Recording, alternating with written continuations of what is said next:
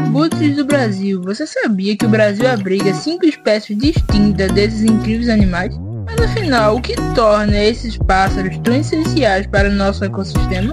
Será que você já se perguntou como esse gigante do céu consegue localizar caças a quilômetros de distância e que papel eles desempenham na manutenção da saúde ambiental?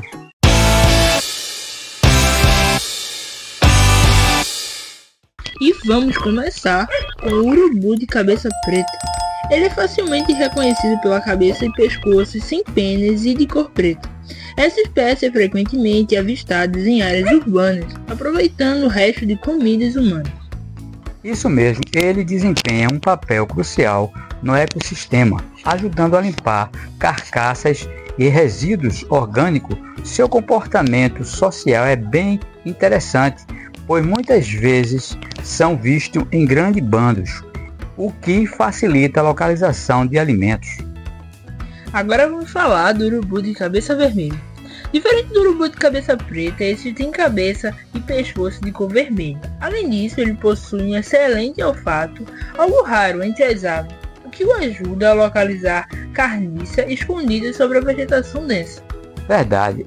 E além disso, o urubu de cabeça vermelha costuma planar em grandes alturas, aproveitando as correntes térmicas, o que lhe permite percorrer longa distância em busca de alimento sem gastar muita energia. O próximo urubu é o urubu de cabeça amarela.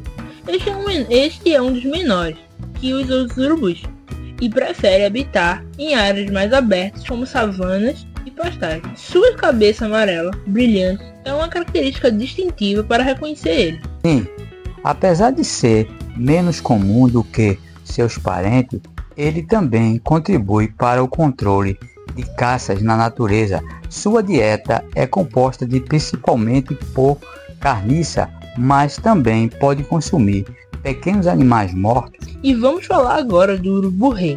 Esse é sem dúvida um dos mais impressionantes de todos, com suas cores vibrantes na cabeça e pescoço, e também o maior entre os abruptos brasileiros e não só é grande, mas também possui um bico extremamente forte, afiado e capaz de rasgar até as peles mais resistentes. Esse bico poderoso é uma grande vantagem quando precisa abrir uma carcaça dura. Fim, temos o urubu da mata, que é encontrado principalmente nas regiões da Amazônia. Este urubu tem uma cabeça de cor amarela pálida e vive em florestas densas o que o torna mais difícil de ser avistado.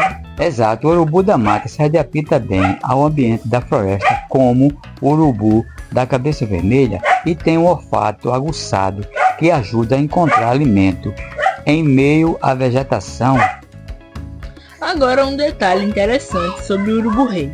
Seus filhotes nascem cobertos por uma penugem branca e densa, que os ajudam a se manter aquecidos eles dependem totalmente dos pais para se alimentar, recebendo comida regurgitada, até serem capazes de se alimentarem por conta própria.